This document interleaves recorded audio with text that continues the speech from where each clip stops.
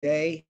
We're going to talk about breaking down silos to build more functional organizations so that you'll raise more money.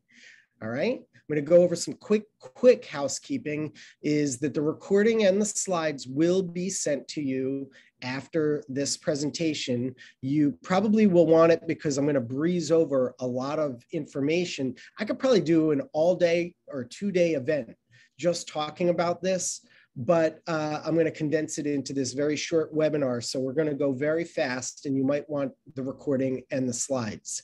Um, questions will be answered at the very, very, very end, but you can use the chat tool if you'd like and the Q&A tool. I have my friend Trisha here who will um, um, be able to, uh, yeah, there she is, and she'll be able to try to help you out if, if she can. Um, if you find that you have interest in learning more about MarketSmart, we'd love to talk to you anytime. Just go to our website at imarketsmart.com. Our, uh, if you decide to talk to a salesperson, we call them solutionists. It's never high pressure. It's only informative and educational. So um, don't worry, we will not um, pressure you to buy anything ever. All right. So, hi, everybody. By the way, I'm Greg Warner. I'm the CEO and founder of Market Smart. You can connect with me on LinkedIn. I think I'm got like 17,000, 18,000 connections now. Uh, I get a lot of requests every day, and I'm really happy for that and happy to engage with you. If you want to connect with me, please feel free to do so. If you don't know about my book, um, I wrote a book called Engagement Fundraising. That's a, uh, a, a, a, phrase I came up with to encapsulate uh, the methodology that I invented for fundraising, and we give it away for free. So if you ever want a copy, uh, just let us know. Click on this link here, and you could get digital version, an audiobook version, or if you reach out to us, we'll send you a print version. Also, I invented the fundraising report card, which many of you may or may not know about. It's completely free. It's something I built for the sector to use at no cost whatsoever. There's no um, tricks or anything. It's just, it's a, it's a visualizer of your metrics. So if you need to provide your board with reports on quarterly results, uh, this is a very simple drag and drop tool that'll give you all your uh, charts, fundraising metrics that you need to present uh, in like a matter of seconds. So it's very powerful tool and it's like, think of it like Excel or Tableau on steroids, but just for free. And it does all the work for you. I also invented the DAF widget, which some of you may already know or be using. There are many folks who use this. It's, um, it's a widget that you put on, on your website to help people who have already donated money to a donor advised fund. It helps them uh, give in a frictionless way so that they are more likely to give more dollars from their DAF that they already donated and got a tax, uh, a tax benefit from, uh, but to your organization. Also, I developed with Dr. Russell James the e uh, course or the online training course that's based on his latest uh, four books of research. And I'll talk about that a little bit later. MarketSmart, in case you didn't know, is a outsourced, done for you marketing team. We focus on major gift marketing not low dollar marketing. And we essentially deploy automated marketing systems that help you land more meetings with major donors when they're ready to talk about giving major gifts of assets. And this includes legacy gifts. So our company offers that kind of service with a system and technology that um, enables you to usually get more than 10 to 1 on your return on investment with us. We guarantee 10 to 1 or your money back, and we've never had to give anybody their money back, not yet. So uh, it's been 10 years now. And uh, if you're interested in that, we'd be happy to talk to you to help you be the fundraiser you always wanted to be. All right, so having said all that, let's get into breaking down silos. Again, there's a lot of information that I'm gonna be going over. I'm gonna do it pretty fast. You'll get the slides and such. And um, it's all based on, or, or most of it is based on Dr. Russell James' research. If you don't know of Dr. Russell James yet, he is a world-class educator and researcher who's been published just about everywhere and quoted in all the major media. And most recently, I think it was last year, he was inducted into the uh, NACGP Hall of Fame. He also has a PhD in consumer economics. He was a former director of planned giving and president of a college in which he uh, completed two capital campaigns, built several free buildings and tripled. And Dr. James probably knows what he's talking about. Before I get into what we what I learned from him and that I'll present, is um, I want to let you know that my company has based our uh, we've broken down the silos, I should say, by learning from Gino Wickman, who, so if you're a leader of an organization, a C-level board member, perhaps, you might really find use in this book called Traction, which I think is just absolutely fantastic. But the the quintessential the the the book on breaking down silos is from patrick lencioni and it's called the five dysfunctions of a team. And i'm going to touch on some of that but nonprofits are just very different. Oh and I, I should mention okay so if you don't believe me for credibility's sake and you want to see what our former staff say about me and us and how functional we are you can go to our Glassdoor because that's anonymous postings and see what people say uh, there are one or two, as there always are, um, who are maybe lukewarm, but uh, most people give us like five stars, and that that, that way, hopefully, you'll believe me that I know what I'm talking about here. All right, so let's talk about breaking down silos. This is the agenda for today. We're going to try and understand the problem. I'm going to break it down. Uh, I'm going to give you a, a, little sense of urgency with regard to why we need to fix the problem. And then I'll get into Dr. James's recommendations for how to fix the problem. After that, uh, I'm going to get into the assessment results. Many of you, thankfully, many of you took the assessment uh, when you signed up for this webinar. And we have some results from that that I'll show you. And um, you, we'll let you be the judge of, as to what you think about that, but I'll, I'll, I'll add some color commentary on that. So I hope you'll stay around to see the assessment results and the questions um, if people start asking questions and you know we'll save those for the end. All right, so why do silos exist in organizations? Okay, if you're here, it's probably because you have worked for an organization or currently work for an organization where silos exist. This is what I call a flying golf ball strategic concern right? If any of you have met me in person, whenever I'm met with a challenge, I say, okay, this is a flying golf ball problem. It's very complicated. It's always hard to hit golf balls when they're flying around, if any of you play golf. So um, you really got to lay the golf balls down and then you can hit them. You can see them, you can deal with them. When they're flying at you and all around you, it's very hard to hit them. So um, at a high level, I'm going to lay down some golf balls and I'll say, at a high level, it all starts with leadership. And at the very end, I'll be telling you if you've got a poor leader, that's probably not going to change unless the leader changes. So you might actually want to just look for another place to work.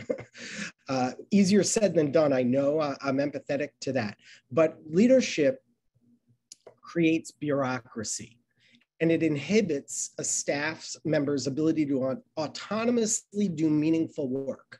Now, those words, autonomously do meaningful work, are very important in the, that I selected them from a 2022 study. Of course, you'll see links throughout this because um, I, I, don't just want to spout these things. I want you to be able to research it on your own. But there's a big report that Microsoft finally came out with where they studied um, how to increase performance and uh, longevity, uh, reduce churn of their own staff. And what they found to really just boil it down, you know, 100 pages of research down to this is that people want the ability to work autonomously on meaningful projects. And when you have poor leadership and bureaucracy, that inhibits a staff's ability to do that. When they feel inhibited uh, from doing meaningful work, they reduce their energy level and their interest, and that creates disengagement. And that reduced interest uh, in collaborating with others, especially, creates the silos. Another way to look at this, let's lay down some different golf balls, is the fact that organizations, especially uh, nonprofits, have disparate teams, including low dollar oriented fundraisers, high dollar fundraisers, major gift officers, event staff, communications teams, program staff, volunteers, board members. So many disparate teams that have competing obje- objectives. This also inhibits a staff member's ability to autonomously do meaningful work when the objectives are competing. And that creates friction and creates misunderstandings in relationships, which reduces energy and interest and then creates distrust, which eventually creates silos. Um, those are super high level ways of looking at it and pretty common for any kind of organization or business, private sector business. What I'm going to lay down are three big golf balls, though, that I've found that are very specific to the um, the nonprofit sector, and they are uh, so. This is like looking moving the golf balls a totally different way, maybe even using a different club on these. But I break them down into that the, there's money involved in in in this. There's relationships, and then there's needs of the people involved in the relationships, whether that's uh, the or organization's administration or a donor or anybody else who supports the cause. This, these three golf balls make for uh, a lot of uh, challenges in the operational mechanisms that require functionality, kind of like uh, grease in an engine, in order to operate smoothly and perform optimally. So I'm going to cover those three, and then we'll um, we'll we'll move on to the next uh, part of the agenda. So let's let's talk about money first the the thing about our organizations in this sector is that most are focused on two kinds of fundraising. There's the low dollar gift fundraising which is um, focused on cash and then there's the major and legacy gift fundraising which is focused on assets. And also i mean just to start it right off there's it's not quite balanced. In other words more money is usually spent on low dollar cash oriented fundraising and solicitation efforts compared to uh, major gift fundraising. The, the low dollar versus high dollars, I mean, I'm, I'm, going to break this down in terms of dollars, uh, or, or let's look at some metrics, I should say. And these come straight from our fundraising report card. So if you put your data into the fundraising report card. I said I give it away for free, but and there's no tricks or anything. But the catch is that then I use this data for the marketplace, for the market, the sector to understand what's going on. So that is the one caveat for putting your data in there. And then every year, twice a year actually, we look at this these these data points to see what's going on in the sector. Um, the under $100 donors. Okay, compared with over $5,000 donors. You're going to you're going to see some interesting things here. So the average donation amount is only 25 bucks compared to almost 41,000. The retention rate for low dollar donors is less than half of that of the high dollar donors. And the lifetime value is exponentially smaller, only 45 bucks compared to 75,000, not including legacy gifts, of course.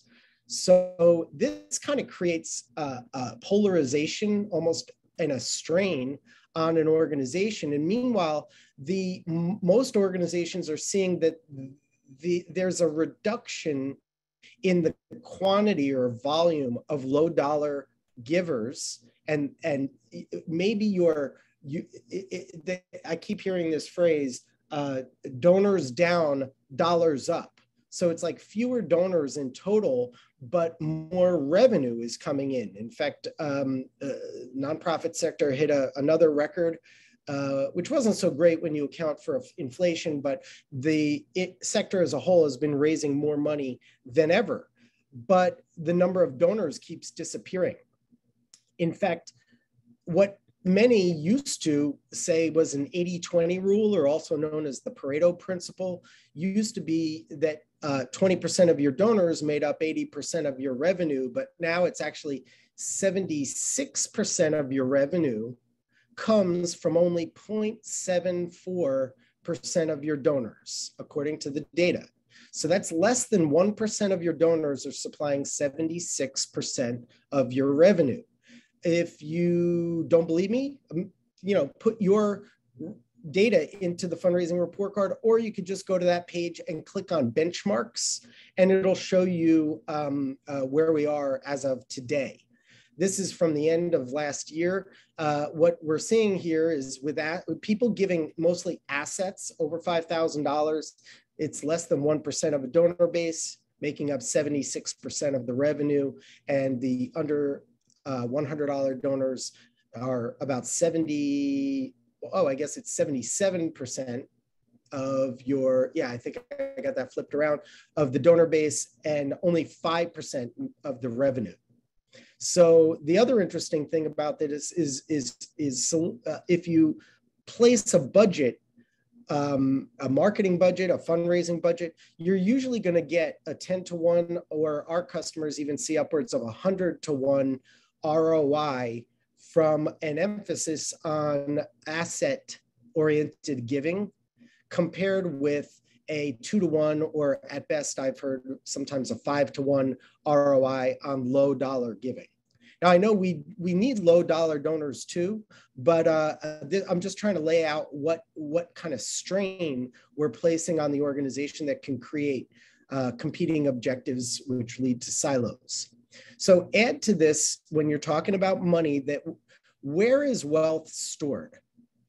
So Dr. James, in, in his most recent research, pointed out that most wealth is held in assets like stocks, bonds, retirement accounts, and such, compared to very little money is held in cash. And that makes perfect sense. I mean, we don't walk around with uh, with with with stocks. We just we keep them in the accounts where they belong, and hopefully they appreciate. But the thing about this is that while it's easy for board members or leadership or others to think that a dollar is just a dollar and it doesn't matter where it comes from, I mean, dollar's always equal, no matter where you get it from. The truth is that it's it's there's a, big difference in how you get a dollar from cash versus how you get it from assets. And wealthy people, especially, think of dollars coming from assets as costing them a feeling, costing them less to give away. Of course, sometimes they may get um, tax benefits or they just get sort of a lottery effect which is whereby when when you come across money you already you sell a business or something or sell your a warehouse it's part of a business you know there's a lottery effect. And then all of a sudden giving away uh, uh, one dollar doesn't feel like really anything. In fact a hundred thousand dollars might feel not so tough so there is a big difference when you're talking about money um, coming from assets it's more painful and feels more painful to give money from cash than it does from assets. Another thing about wealthy people that's been changing, and this is not in uh, from Dr. James, but I found this recently, is that most wealthy people don't know how to give their money away. And partly this is because wealthy, the, the old inherited dynastic type of wealthy philanthropist is kind of going away there's fewer and fewer people, especially here in America, that are inheriting their wealth. Now, this may change with this great uh, wealth transfer, but I kind of doubt it because um, there's so many, so many people in America who are self-made wealthy. This usually involves people, professionals, um, entrepreneurs, especially, and people who come from other countries, immigrants seem to be um, uh, very good at coming from nothing and building something. So um, this research came from uh, the World Ultra Wealth Report and is just showing that there is a growth in um, the number of people who are self-made compared to the declining number of people who are more dynastic, if you will. Now, any of them, though, need fundraisers to help them, especially um, they need a guide, is really what I'm saying. They need a counselor because, unlike philanthropists and dynasty types, they were taught at young ages how to give money away. They watched their parents and their grandparents act in philanthropic ways. But the uh, entrepreneur, the, the immigrant success story and such, they spent most of their time uh, accumulating wealth and they didn't really have the parents or the, the, the community around them that would teach them how to give money away and how to be philanthropic. So, what happens is at a certain stage in life, they realize, wow, I've accumulated. Now, how do I give back? And they really desperately now, more than ever, need a fundraiser to um, counsel them on that because that's what fundraisers do every day. They help people, um, uh, they help facilitate the giving experience. So, when you look at money, uh, that's that big golf ball. It's it there's a, a big difference between cash giving and the organization how it's set up to to deal with cash giving versus assets. The solicitation level of difficulty for cash is much easier than that for assets and the complexity level is much simpler. The uh, organizational planning tends to be quite tactical and less strategic. I know there's some strategy involved, but I'll tell you, raising of assets is a all strategy game. It's constantly thinking about donor needs and how to deliver value to individuals, while the um, cash solicitations are they don't really need to take each individual donor's life story and needs and how they want to get value out of giving into account they more so are thinking about the organization's needs, what program needs there are, and societal needs. The uh, communication approach is going to be very one way when it comes to gifts of cash, which is fairly uh, straightforward but removed. And with assets, you got to meet with people in a coffee shop or in their house, in, in their kitchen, where it's bilateral, it's reciprocal, which makes it messy and social the l- level of trust required for giving assets is exponentially higher than what's needed for just uh, hitting a, a reply uh, or giving 50 bucks online. And the time focus of the organization is just generally going to be focused on immediate gratification while it's more so about delayed gratification when it comes to asset giving. Um, the staff you required are, are for assets are uh, more like counselors and advisors, which are generally going to be higher cost. And um, the the market for asset giving, I mean, the number of people is uh, possibly quite small. In fact, uh, like we just saw, it's 0.76, or, or you could go a little further out from that, maybe five, even 10%. But uh, the people giving cash is, uh, uh, uh, is actually shrinking. So I'll show you a stat on that in a minute. Nevertheless, the revenue potential for giving assets is much higher and growing, uh, especially because the wealthy are getting wealthier and you can get a much better return on investment from them. So next, uh, that's that's about all I'm going to talk about money at least so far. But next, I'm going to get into the relationships, which is can be very messy when you're dealing with more meaningful giving uh, as compared to the relationship that you need to have with more transactional giving. Now, this is Mark Knapp's relational development model, which I learned about when I was in college back in the late 80s. And um, it still stands the test of time that this is how relationships work. It's really pretty simple is you come together and then you kind of maintain the relationship. Or if things change, then it stagnates and possibly even terminates. Now, in the transactional realm, it could be quite fleeting you know you get a letter you make a donation maybe you never hear from the organization again. Maybe you do. It's just pretty quick. Um, and since only did it say? I think 16, 17% of new donors um, end up giving again. I would say that it's a fairly fairly quick and smushed kind of relationship, while the more meaningful kind of giving of assets is generally going to be a long-term relationship. In fact, it'll take at least a year, maybe two or more, to close a substantial major gift. Uh, so if we break this down, you're looking at sort of getting money from charity for transactional giving compared with um, developing partnerships in support of philanthropy. This leads the organization uh, to who thinks transactionally, or the team members who think transactionally, to focus on money now uh, compared to retention, loyalty, lifetime value, and even after lifetime value uh, through legacy giving.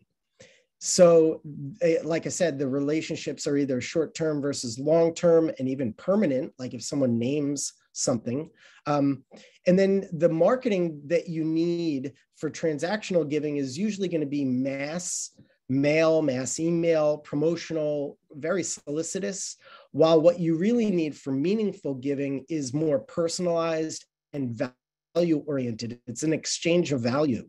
As Dr. James says, if you want a million dollar gift, you have to figure out what kind of value you can give to a donor in return that equals to them a million dollars. You know, so they'll they'll be willing to pay for that experience. The methods deployed are usually fairly solicitous uh, gimmicks and, and, and premiums and things like that compared to trust building and value delivery. The proximity of the staff is going to be arm's length and, and somewhat superficial, while for one-to-one, uh, for, for meaningful giving, it's going to be more one-to-one and, and genuine, uh, enduring and synergistic. Let's see. And then um, when it comes to the decision-making pace, it's going to be very fast in the transactional giving, which kind of gets people pumped up and excited because there's always a little bit of money coming in, keep the lights on. But it's much more challenging for meaningful gifts of assets because it's slow. It's highly considered. It's very deliberate because these are consequential phil- philanthropic decisions. They are not trivial by any means. And what Dr. James says about these two differences is that uh, he calls the meaningful giving something that's evolutionarily stable. Uh, that's because we as humans are, uh, uh, we live in tribes, so to speak, and tribes require relationships, strong bonds, and trust in order to survive and continue on with our human uh, experience. It's so we've adapted and we've become this way on purpose because it helps us survive and um, and that's what he means by evolutionarily stable. So when you put these two and and i see someone keeps raising their hand i won't be answering questions right now but i hope uh, trisha there can answer whatever that is. If if um, the person would please put it in their uh, in the chat what their question is or i'll answer questions at the end sorry um, okay so this this is creating conflict right? And the conflict is often also between the organization's administration and the major donor, right? Because major donors want to give so that an organization will do something on their behalf. But organization administrative people, program staff, volunteers, uh, really both the donors and the, the, all the other people, the organizational people, want to be the heroes in their own life story. That's what we all want. We all want to be able to look at ourselves in the mirror at the end of our lives and say, I was a good person. I did good here. I, I helped others, right? But when it comes to helping sustain an organization for all time, or achieving uh, um, on a mission, that doesn't work so well uh, because having two heroes and and really the gift officer's job is is to support both and to help both and that puts the the gift officer in a very very precarious position which only fuels dysfunction right? What happens then, according to Dr. James, is that fundraisers unfortunately get discredited and treated as others within their own organization. And the worst part is when they get scapegoated by leadership or the board for not having brought in enough money fast enough. They become, you know, the leaders may become impatient or they'll just they'll blame the gift officers for the problems but the truth is this is a team effort. And um, uh, uh, uh, what what the scapegoating effect really is uh, is at the core of uh, and everything else that i just talked about the money relationships and and the needs are uh, what really create these silos. That's my perspective on it.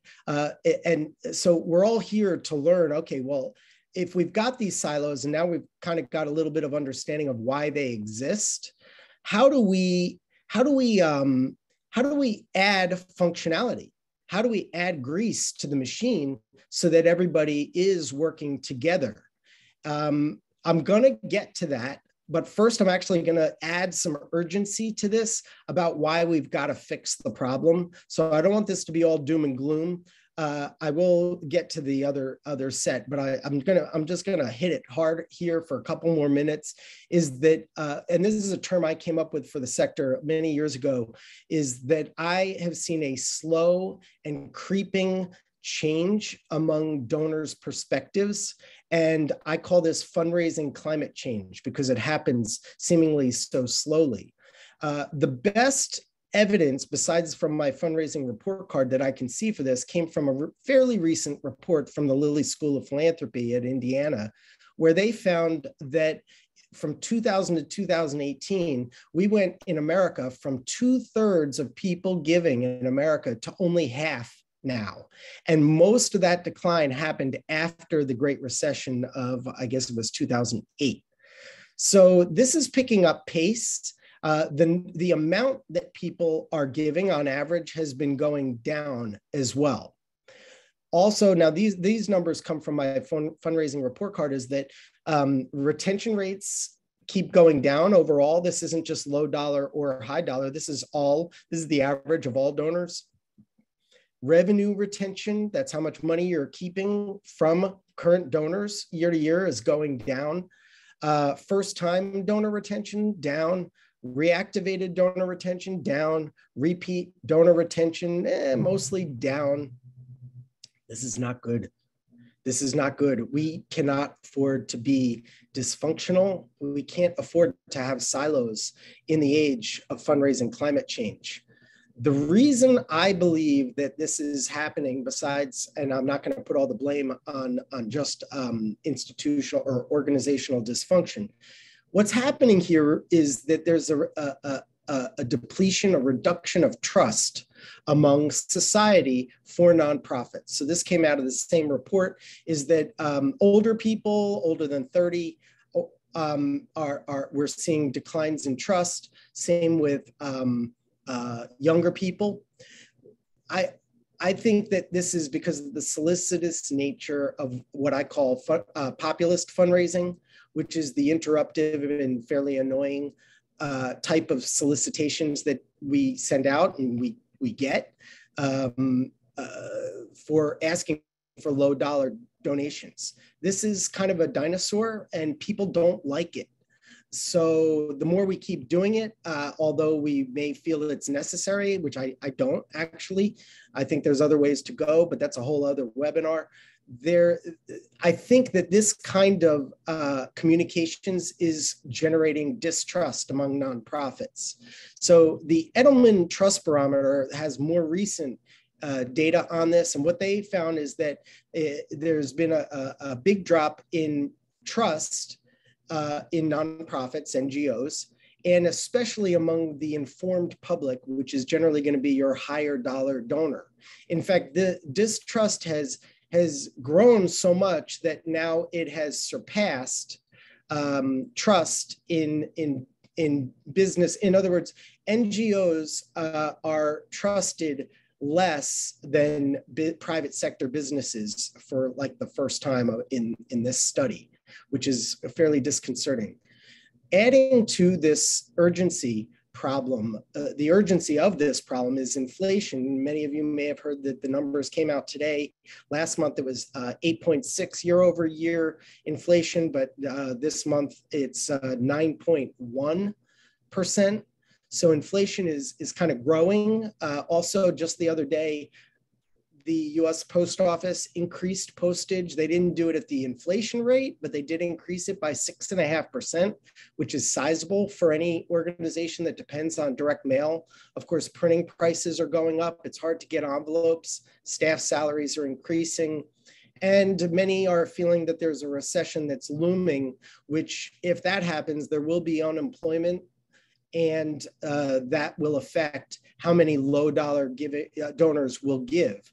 Yet, during recessions, the wealthy people pick up the pieces and they tend to make money. Um, they'll buy real estate for less and buy stocks for less and all that kind of stuff. So they'll become wealthier. All right, enough doom and gloom, right? Let's talk about how we can fix this problem.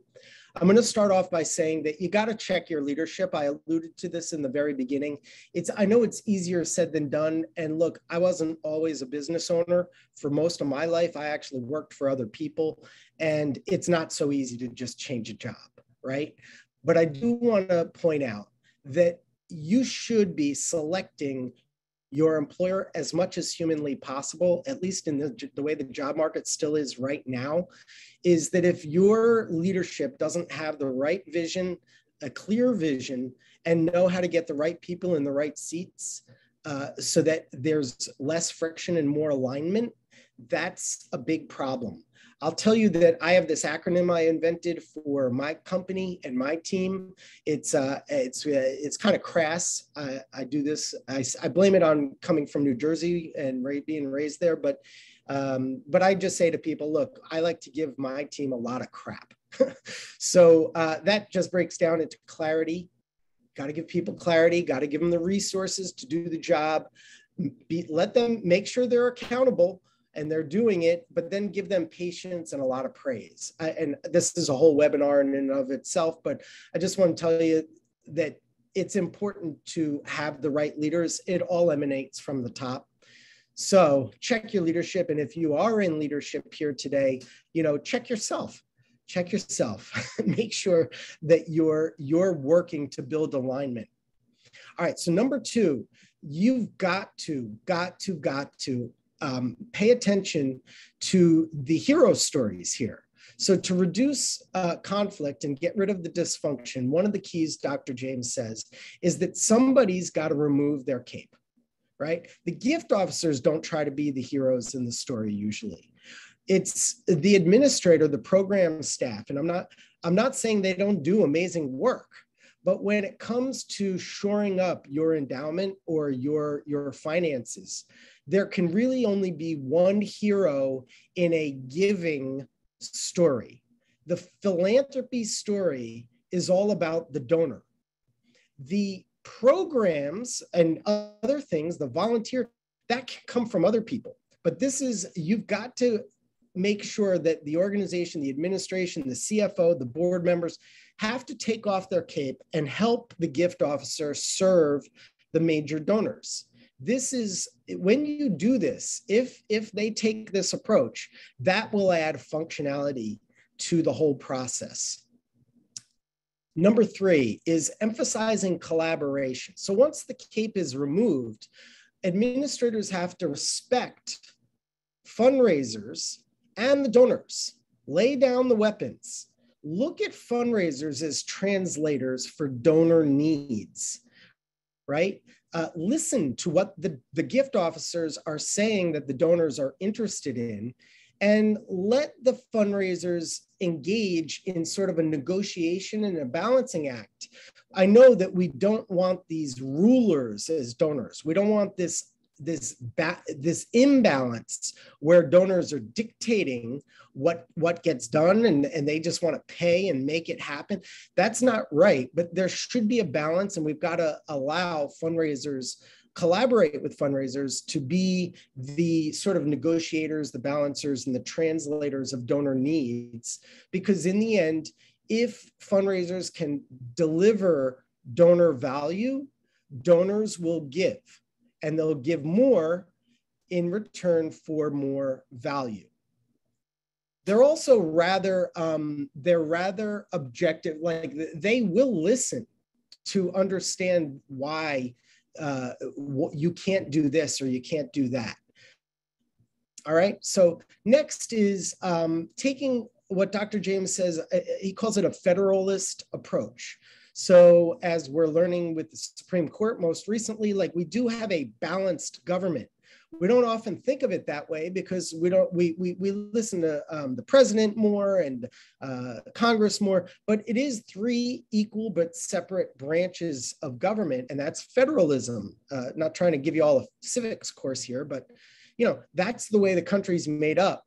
The, what Dr. James says is if you take a federalist approach whereby donors maintain power and administrators maintain authority, then adding to the mix, the, the balancing is, is helping to make sure that fundraisers are included and appreciated, not discredited or treated as others. Let them do their role. So he includes this in some of his research. I'm not going to read all this, but I'm just going to show you that he's got it all broken down as to how we might want to balance this. And this, I'll be talking about this in just a second. But um, the last thing that you want to do is you've got to understand that the transactional and activity based metrics that are often thought of and, and, and used for major gift fundraising and gift officers don't work. Okay, it's more about pipeline size. In other words, how many donors do they have in the pipeline who are considering giving uh, assets? And what's the value of those gifts of assets? What's the velocity of them moving through the pipeline? Because they could take years to happen. And what is the value? whoops, value delivery me metrics? In other words, are you delivering value to the donors? These are different kinds of metrics. And instead of using unrealistic and arbitrary goals, like I've heard so many times, board members will say, you know, we, we want you to raise 10% more. Well, why? Like, we don't know why. It's just because. I mean, that's arbitrary and that doesn't help. uh, vanity metrics don't help either, like nobody cares about open rates or click rates when it comes to asset giving. If you get Elon Musk and Oprah, Oprah Winfrey and Bill Gates to click on your email and all 10,000 other emails don't get clicks, I don't think any of us will complain that those three are the only clicks. It's, a, it's about quality, not quantity. And finally, we want to eliminate scapegoating of fundraisers. This is a team effort. If they're failing, everybody's failing. Everybody needs to be part of the value delivery machine in, uh, in, in order to uh, help major donors realize the value they can gain so that they give massive amounts of money. So these are the five keys to fixing the problem.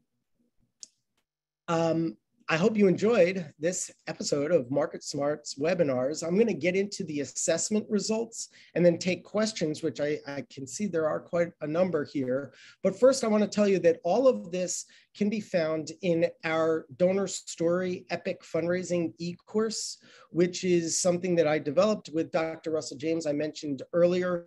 It is uh, the only fundraising training course that helps fundraisers improve their skills so they can raise more major gifts of assets, but also help staff to work collaboratively. So you break down silos and work together to deliver value to major donors.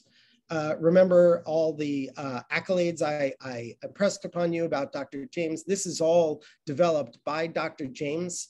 And what he includes in this content of this online training course is what you should say and do to major donor prospects, why what he recommends works. And this is all based on research, not hearsay or orthodoxies and myths.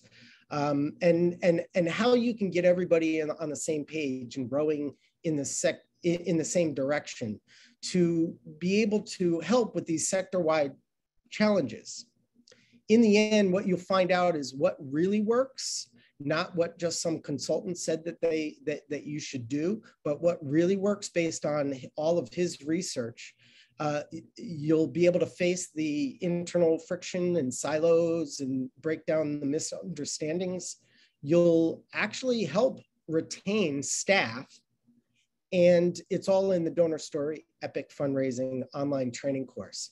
The way it works okay is a low annual subscription for an organization. It's not per person and it's you get unlimited number of students. That means you can bring on new employees and train them with this course uh, right as they come on, board members too, volunteers, and of course, anybody else, whether they're in communications or administration, even your CFO. Uh, here's one nice little testimonial from Cindy saying that this has been really helpful and she uses the conversations and she's a MarketSmart customer. I know she does so that everybody in her organization is building functionality uh, and breaking down those silos in this course, you'll learn how to properly identify and engage the top 13% of supporters that Dr. James says provide 88% of the revenue. That's very different from the 76% that we find coming from only half, uh, I'm sorry, three quarters of 1% of the donors, but he expanded it out to the 13%. Um, you'll ensure that most of your gifts actually come without restrictions. He'll teach how, how you can do that you'll improve performance by leaps and bounds, but without working harder, in fact, you might even work less. you'll figure out how to find the outliers that are sort of hiding in your donor base, and you'll understand what words really work. If any of you know Dr. James, he studies words and he tests them to figure out what words and phrases and sentences really work. So this is all to help you build a culture of philanthropy internally so your team raises more money as it as, as, as, as a team. That's what a team is. So this is the research theory practical application. It's for both major gifts and legacy gifts, but actually when you put this into practice, all levels of giving will increase. It is in fact a very new way of thinking in this course. It is innovative and new, and, and to me, it was just awe-inspiring and groundbreaking. So at this point, you probably want to consider, would this be beneficial to you and your team? What, what's included in this is uh, quite a bit. There's a complete course of 105 lessons. There's a read along transcript, which makes it easy as the video is playing. And you can also download audio for your car or when you're working out.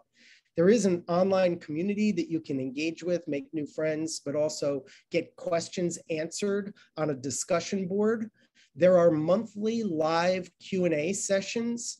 These, um, these are, are called now mastermind mixers. And I have to say, uh, this is almost the best part of the whole darn thing is because we come together once a month and we, we chat and we break, go into breakout groups and we just help one another. And I know that uh, at least Jill here has said that she feels so privileged to be able to participate in these. There's also quizzes and worksheets from Dr. James to help you get the most out of it. And the course will get you 20 and a half CFRE credits or points. Uh, along with you'll get study sheets. These are kind of like Cliff's notes, if anyone remembers those. Now, if this all seems really overwhelming, you should know that there is a fast track that only takes about the length of one good movie to get through. They're 19 bite-sized, fun and engaging, super brief, like five, eight minute, 12 minute, sometimes videos. They're, and it's really well designed. It kind of looks clean, easy to get through. For the fast track, there's lots of cartoons. Hope it's not too sophomoric for, for, for anyone, but it's very easy to understand. And then for the deep dive, if you want all of the other 108, I think it was, uh, training sessions, some people really, really, really enjoy Dr. James's, but you can get through the highlight reel with the fast track. And these are Dr. James's slides. They're always kind of a little funny. Um, so you get all that. And uh, as, as Julie says, another MarketSmart customer beats the heck out of getting another degree. Um, you get also a bonus of words that work from Dr. James. These are the phrases that encourage uh, uh, uh, plan giving. And also his 50 minute training on how to raise major gifts of assets in the aftermath of COVID. And finally, you also get my bonus on how to land meetings with major donors. Um, all three is valued at $641, but uh, and I'm going to get to the price. I just want you to know there's a 30 day money back guarantee. So if you don't like it for any reason, we'll give you your money back. No problem, no questions asked. And all of that is valued at $3,638 per person. But first of all, we, we knocked down the price substantially uh, throughout the year for 1997 but we decided not to make it per person. It's going to be organization wide. So if you subscribe, it's for the entire organization and anybody can, can use it for that one price. So it is an annual subscription. But if you pay just $25 more, then the next five people can get CFRE credits. But then actually we reduce the price It'll be $9.99 right now. That's only until uh, July 19th so that you can get it i guess it's basically like half off that that regular price. This is because we're just doing two registration periods a year at this discount. We're trying to get everybody in so that they start the course at the same time and it makes the mastermind mixers that much better. So the price right now is reduced to 9.99 it's an annual subscription. Everybody in your organization can take the course. If you add 25 bucks, five more people can get the CFRE credits. So that brings it to a total of just $1,024 to uh, get unlimited access. If you put 100 people on the course, then I guess that's 10 bucks each. You know, uh, that offer ends on July 19th at 3 p.m. sharp Eastern time. So last thing is this is the way it works. It's $9.99 per year. You can lock in that subscription rate. Then you can add five coworkers to get the CFRE credits at 25 bucks. And once you do that, then it unlocks everything, all the unlimited number for everybody else. That's the total of $1,024 with a money back guarantee. So I highly recommend you lock that in now. If you forget and don't do it right now, you can always go back to our website and just click on the e-course there, but only until the 19th. And um, all right, so that's that. Uh, with the, the remaining time, I'm going to get into the assessment results for all of you who took the assessment. Thank you for doing that. And then I'll get into your questions. So thanks so much for your patience if you already posted a question. All right, so we were trying to determine how functional people were. And this is not exactly scientific. And actually, Dr. James, just before he went off on like a three week vacation to uh, Europe, he sent me tweaks and changes to these kinds of assessment questions, but we'll probably get into that next year because, well, you already all took these, these assessments. So we'll be working on tweaking the, the assessment going forward uh, with Dr. James, of course. So what the, the first question, I think if we did this in order was asking if all teams in your organization are um, recognizing and agreeing that providing value to supporters is essential for building trustful, trusting relationships. And that was kind of the typical bell curve. I was kind of disappointed to see that it wasn't leaning even further down, you know, to mostly people saying pretty much true and absolutely true. So I guess I'm not that surprised, but I am a little disappointed.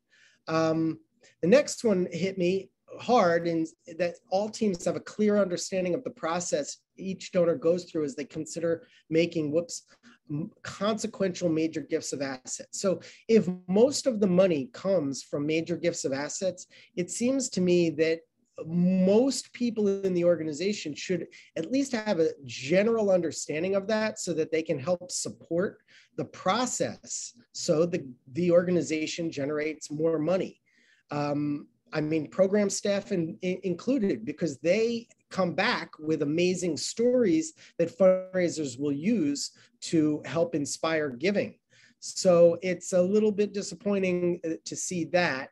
Um, all teams understand and accept the fact that most donor dollars come from major gifts of assets and large legacy gifts. Those are the outliers. So this really answers the question of why the last slide was so heavily tilted. It's the fact that uh, most people apparently don't realize that most of the money comes from major gifts of assets. It's clear in this. Um, all teams adhere to a collaborative approach that involves separate but equal power. This is that federalist approach. And as a result, input from fundraisers and donors is accepted with the same weight as input from administrators and other insiders. Unfortunately, uh, heavily weighted like the traditional bell curve, not enough people saying that that's absolutely true. And uh, I think there's oh, what two more all teams recognize and agree that a fundraiser's job involves operating as a champion for and provider of donor value, as well as translator for donor needs. And it seems like we're just stuck on that bell curve where there's some organizations that really, really are saying absolutely true and they get it, but most uh, have a little bit of work to, to, to go in this regard. Lastly, all teams work together to make sure fundraisers are not discredited or treated as others, and rather are supported, heard, and collaborated with in relation to donor needs and the provision of value by the organization to the donor. So yeah, same old, same old curve here. Uh, looks like we, we do have some work to go. Oh yeah, yeah, whoops, sorry, there's one more. All teams work together to report back to donors so they continue to recognize the value they gained through their philanthropic com- contributions. That one, I think, really would be we we should focus on. I, I would hope that everybody would understand uh, the value of reporting back in such that it increases retention and lifetime value of donors. All right, so this uh, essentially concludes this episode for us, and, and I'm going to get into uh, the questions now. Let's see, I'll start in the Q&A area. Is there any correlation between trust decreasing and political gift scams? Wow, this is probably, I, I would say yes. I think scams in general, uh, spam, scams. You know, I know my mother-in-law sadly was the victim of uh, of of of a scam, and that created a, a terrible hassle for the whole family. So you know, it, it is. I mean, trust depletion in any kind of financial transaction is going to make people concerned about whether they want to donate money. So I would say that that is contributing to a degree. However, um, political fundraising doesn't happen all the time. Uh, while um, or, uh, charitable and uh, uh, uh, fundraising in our sector outside of political is happening all the time. So generally fundraising picks up around, uh, you know, every two years really. All right, so Ruth, let's get into Ruth. I mentioned that traditional intrusive marketing techniques have created mistrust? Does he believe nonprofits should stop all direct mail appeal marketing approaches? If so, what should take the place? That's a great question, Ruth. Okay, so I have written on this and I was preparing a book. I'll give you the short story because I have three more books already written that I haven't actually pushed out and I got to get to them. But yes, I believe that actually any organization can raise more money through, uh, through tossing out all of the solicitous acquisition strategies and instead creating what the private sector has done is a more content oriented and engagement oriented acquisition model that does not require an entry fee from any individual in order to be part of it. In other words, I gave an idea to an organization that helps to clean rivers.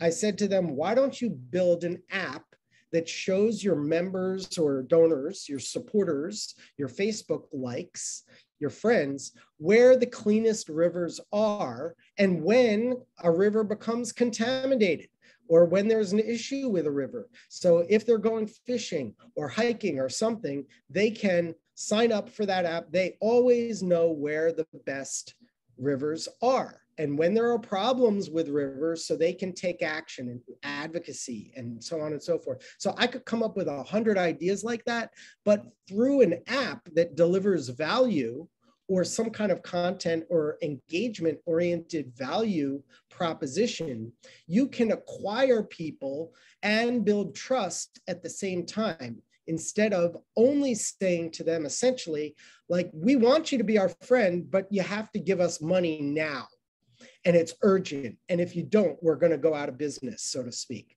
So I, hope I, I could do a day's worth of discussion on that, Ruth, but I hope, uh, I, I, do believe that you, we pretty much could get rid of all low dollar solicitation techniques and probably be just fine if we replace them with value oriented efforts.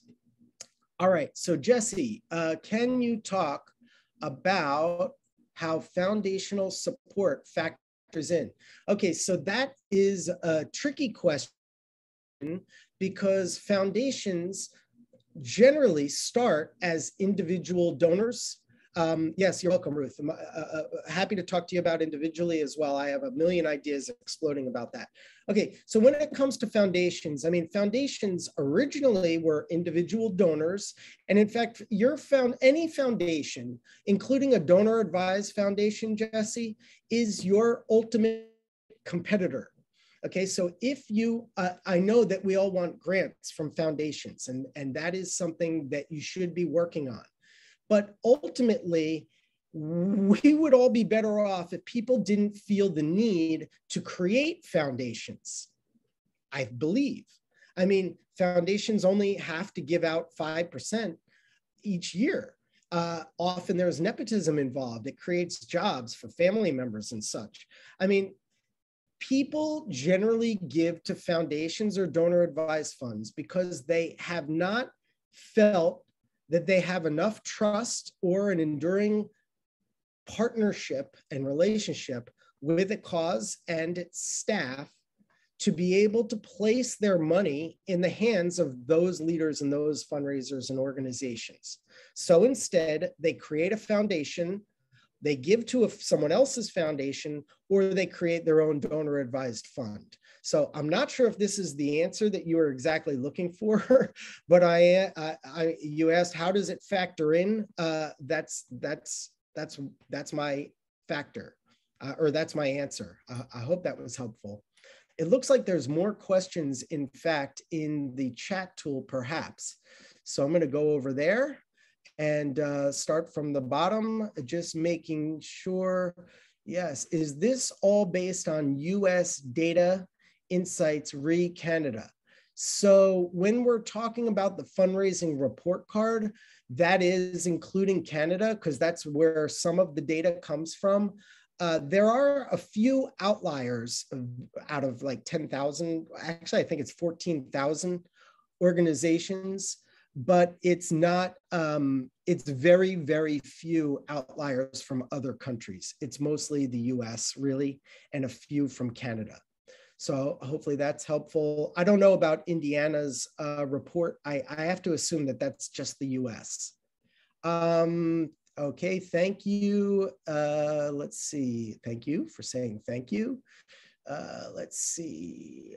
I'm just going to scan here, see if there's any uh, other questions.